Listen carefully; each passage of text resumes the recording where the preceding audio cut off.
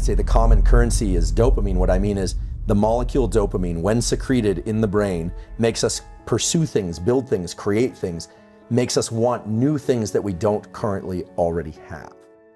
Within the expansive sphere of influential thinkers, there are a select few whose insights not only expand our knowledge, but also alter our fundamental understanding of life. These insights penetrate deeply into our shared consciousnesses, resulting in a profound internal transformation. Recent discourse on personal responsibility serves as a potent illustration of this transformative capacity. This is not simply advice to take charge of someone's life, it's, it's an emphatic call to action, a rallying cry for individual agency and self governance. You know, in terms of value of understanding the nervous system and where it can be steered, it's absolutely clear that the nervous system can change in response to experience. So, this thing we call neuroplasticity is really that. It's the brain's ability to modify itself in response to uh-huh. experience. And I think it's important to understand that from birth till about age 25, the brain is extremely malleable in a kind of almost passive way where kids are exposed to things and the brain is just wiring up. I mean, the brain is really designed to adjust itself uh, in order to be in concert with its surroundings and to optimize that, just the, the way we described it a minute like ago. the way that a mm. child can learn a language very quickly, or, or three languages, play the guitar or something like yeah, that. Yeah, without an accent. You know, right. three languages without an accent. It's remarkable. You try and do that after age 25. It's very challenging, and so the the brain is basically designed to be customized in the early part of life, and then to implement those algorithms and that circuitry for the rest of your of its life. The message is primed to instigate a seismic shift in our individual and collective consciousness for the weeks to come. We are not just poised on the brink of a new perspective, but we're standing at the threshold of a new era of self responsibility and ownership. In a rapidly polarizing world, the steadfast commitment to the principle of free speech emerges as a beacon of hope, right? A recent discourse underscores this commitment, spotlighting the paramount importance of open dialogue for our society's overall health and cohesion. Instead of fanning the flames of division and discord, it encourages us to chart a course towards unity through mutual understanding. And so the brain can change in adulthood, and it can change provided that there's an emphasis on some perceptual event. So, in other words, if you want to change your brain as an adult, let's say you want to be less anxious, you want to learn a new language, you want to be more functional in some way, presumably. The key thing is to bring focus to some particular perception of something that's happening during the learning process. And the reason for that is that there's a neurochemical system involving acetylcholine. And it comes from these two little nuclei down in the base of the brain called nucleus basalis. All day long, you're doing things in a reflexive way. But when you do something and you think about it very intensely, acetylcholine is released from basalis at the precise neurons that were involved in that behavior, and it marks those for change mm. during sleep or during deep rest later. So, for people that want to change their brain, the power of focus is really the entry point, and the ability to access deep rest and sleep. Mm. Because most people don't realize this, but neuroplasticity is triggered by intense focus. But neuroplasticity occurs during deep sleep and rest. And we can talk about how to optimize those different brain functions. One of the things that's really important also to think about how the brain works in terms of plasticity and all this stuff is what the brain really wants to do is also pass as much of what it does off to reflexive behavior as possible. Uh-huh. So, yeah. so when we're talking about focus, I think it can get a little bit vague, but it might be useful to think about like what exactly is focus and what triggers plasticity. So the brain loves to be able to just do things, pick up this alternative to the current narrative is not just refreshing, it's just transformative, holding the potential to deeply affect our social fabric in the weeks ahead. The conversation surrounding the role of truth in our lives is enlightening. The most recent dialogue serves as a powerful reminder that truth is not a mere abstract concept, it's an indispensable tool for personal growth and societal evolution. This message, laden with profound implications, is primed to echo through the corridors of our society in the upcoming weeks, offering a fresh, invigorating perspective on our relationships with truth. We find ourselves at the precipice of a new understanding of truth that invites us to engage more deeply and meaningfully with ourselves and our surroundings. Coffee cups and drink and walk and talk and do things and not put much energy into it. When we decide to focus, what the brain really does is it switches on a set of circuits that involve the frontal cortex and nucleus basalis and some others, and it's trying to understand duration, how long something's going to last, path, what's going to happen, and outcome, what ultimately is going to happen. So duration, path, and outcome. You know, the, the events of early 2020 are a good example of this. One of the reasons why it's so exhausting to be alive in 2020 is because we are now having to pay attention to duration, path, and outcome. How long is this thing going to last? When are, you know, when are they going to open up all businesses? Did I touch that door handle? Does it matter? You know, Right. who are the experts? Are there any experts? You know, there are a lot of questions. Whereas normally we can just move through life without having to do all that analysis. The exploration of the human psyche surpasses the conventional boundaries of psychology, voyaging into the vast and largely uncharted territories of the subconscious. In a recent discourse, we're challenged to confront our inner demons, to embark on a profound journey of introspection and self discovery. This audacious approach to understanding the self is primed to ignite a wave of internal exploration in the weeks ahead. It promises to shift our perception of self, fostering a deeper, more nuanced understanding of our motivations, fears, and desires. The delicate equilibrium between order and chaos offers a unique perspective on societal dynamics. The latest conversation serves as a call to arms for moderation, a warning against the inherent dangers of extreme ideologies that often dominate our societal discourse. This profound message is more than just a wake up call, it's a plea for balance, for moderation that will resonate within all of us in the coming weeks. This is an alternative that not only challenges the existing status quo, but also provides a roadmap for a more balanced, harmonious, and inclusive society. Let's talk about the effects of testosterone and DHT in the brain. The main effect of these androgens in the brain is to make effort feel good. Because of the way that testosterone and DHT bind to receptors and activate certain components of the amygdala. We always think of the amygdala as a fear center, but it's a threat detection center and it has a lot of different parts, including parts that allow you to be forward center of mass in response to pressure. So, Am I suggesting people take exogenous testosterone? No, that's a personal choice that people can explore on their own if they want to do that.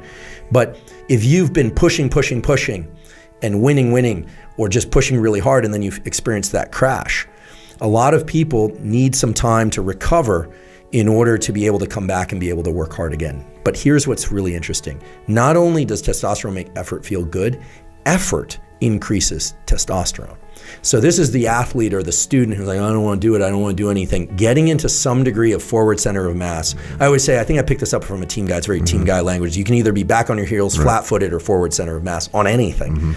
Getting into that forward center of mass mental orientation can start to trigger some of the pathways related to these hormones and these neuromodulators. What you don't want to do is start using a lot of exogenous factors, caffeine, or a lot of things outside of you in order to try and create those states because then you're going to further deplete your dopamine and so on. When I think you went on Rogan at one point, and I overheard a portion, I listened to a portion of the conversation where you said you had um, been working really hard, and then you ca- went on vacation, and then you got sick. Yeah, yeah. So this is interesting. That's the autonomic nervous That's system. happened to me like m- numerous times. Okay, so so there's a very clear explanation for, for that and a very simple remedy. Although it's not obvious, which is why many people experience this. Many people experience studying for finals and then it ends getting sick. Taking care of a loved one round the clock. The person either gets better or sometimes dies or whatever it is, and then the caretaker gets sick. Why is that? Well, we always hear that stress compromises the immune system. Nothing could be further from the truth. Stress activates the immune system. Think about it. How would your immune system, your spleen, and your other immune organs of the body know when it's under pressure? Well, you could have some foreign bacteria or virus in your body, but when you are in a mode of go, go, go, the molecule adrenaline triggers the release of killer B cells and T cells from the spleen. It's when you relax. Now, you need to get your sleep, but it's when you finally experience that symmetric swing back of the seesaw. So you're go, go, go, go, go, boom. And then you completely relax and you're hanging out, and all of a sudden you get the sniffle and the rest of the thing.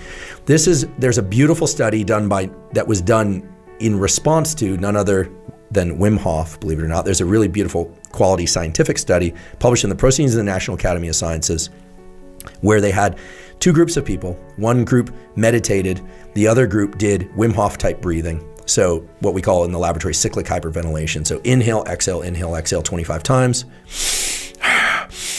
Forceful inhales and forceful exhales.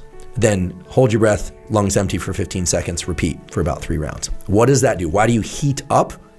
Adrenaline. It's such a generic thing. It's adrenaline. You could have gotten into an ice bath. Adrenaline. You could have someone shout in your face. adrenaline. It's just adrenaline. What what did they do? They injected both groups of people with E. coli. Injected them with E. coli. One group gets nauseous, vomiting, and feels sick. The group that does this cyclic hyperventilation, Wim Hof, also called Tumo type breathing, far fewer symptoms, if any, including lack of fever. So why? Well, they were able to combat the the attack of this bacteria. So if you're coming off of a hard bout of work and you're starting to relax into vacation, you would be wise to still get into some cold water. You would be wise to still do some cyclic hyperventilation breathing. Certainly don't do those at the same time. A number of people actually have died doing cyclic hyperventilation and then doing breath holds because when you exhale a lot of carbon dioxide, carbon dioxide is the trigger to breathe. This is really important. If if you do hyperventilation and then you hold your breath, you can do a much longer breath hold than you could if you just Mark Healey or somebody like that who really understands that. What happens is you're swimming along, you're like, wow, I can really hold my breath down here a long time. Lights out. Mm-hmm. Actually, I'm aware of a few people in the military community who who've dabbled with Wim Hof Tumo type breathing and have died and not, it's not good. I Yeah, think it's it's not allowed. Basically, it's not certainly not encouraged, from what I understand. So do it on land, away from water. And the idea here is that adrenaline protects us. You don't want it cascading out of control so that you can't sleep. You want to use things like non-sleep deep rest and the appropriate timing of light and exercise, et cetera, to be able to sleep well at night to reset all these systems.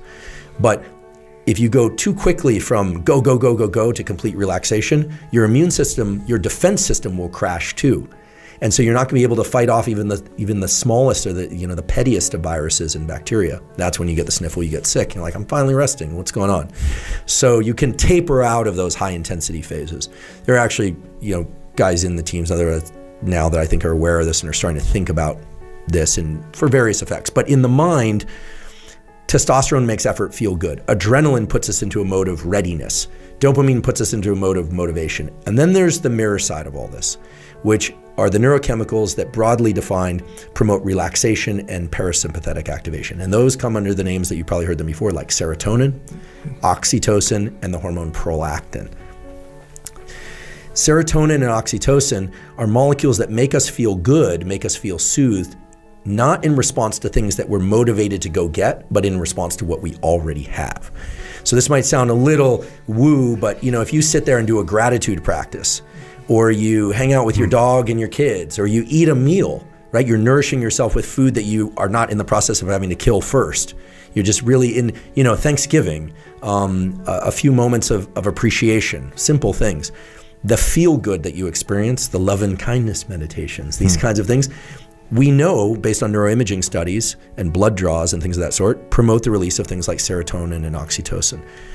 That nature has designed beautiful systems of pursuit and pleasure that are designed to oscillate and designed to keep us in pursuit and pleasure cycles. In relationships, typically the dopamine phase is the early phase. Simultaneously in these cycles? Oftentimes not simultaneously. Typically dopamine and serotonin are released always there's always some floating around in our system at any moment, but typically dopamine and adrenaline are associated with pursuit of things that are outside the confines of our immediate possession in our skin and serotonin is more about the things that we have, the things, you know, get seeing your kid, holding your kid. That promotes the release of oxytocin and serotonin. It feels amazing. Mm-hmm. Right? These are the molecules that led to our evolution as a species. So I'm not diminishing one or the other, but they need to oscillate, right? An early relationship. There are times when people aren't sleeping very much. It's like a mental illness. It's like a it's a form of mania. You're so excited, you don't need sleep, right? People are able to to do all sorts of things at frequency and intensity that they find themselves 2 years later in a relationship and they love the person. It's very warm and cozy, but well, unless they're going off on deployments and coming back, they don't have that reset of the of the system. So, you know, the ability to miss somebody, reset that pursuit and desire system. These are powerful systems and they don't just pertain to romantic relationships. This is also school. I always, you know, I always did summer school because I had to do a lot of catching up to do based on the, you know, a lot of catching up. But, you know, there's some value in taking a week off and realizing you are truly resetting all the systems for pursuit. And I hear from a lot of hard driving folks who like, wow, once I understood dopamine, I realized why I'm so burnt out. People think of adrenal burnout.